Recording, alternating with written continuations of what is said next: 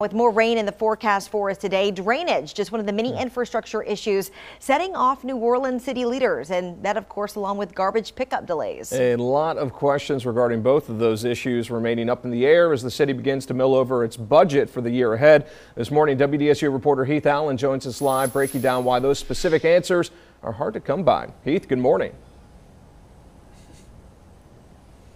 And a good morning to you. You know, believe it or not, the city of New Orleans was facing some challenges even before Hurricane Ida roared through. You mentioned a couple of them trash collection, you mentioned drainage, and now, well, they kind of play off of one another.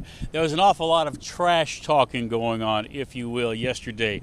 A joint committee meeting, budget and public works, and again, much of the attention was on trash collection right now. And right now, the city of New Orleans uh, really has no firm dates on when some actual regular garbage collection is going to be back in on tap and so they're actually talking about maybe reducing from two times a week uh, which they have under contract maybe going down to only one time of collection a week. And right now, company officials with Metro say their employees are having the same kinds of problems that, well, everybody else is having.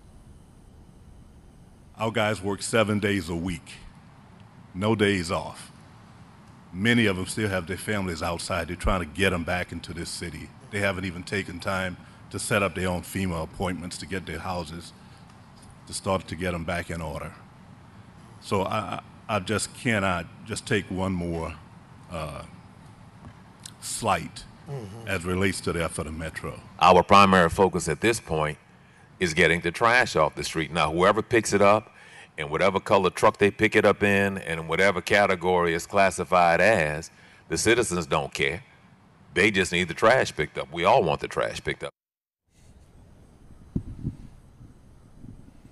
And of course, that would indeed be the bottom line. City of New Orleans now contemplating uh, letting bids over the next 60 to 90 days for a trash collection compact for Area 2, Service Area 2. That's Metro's service area at this point.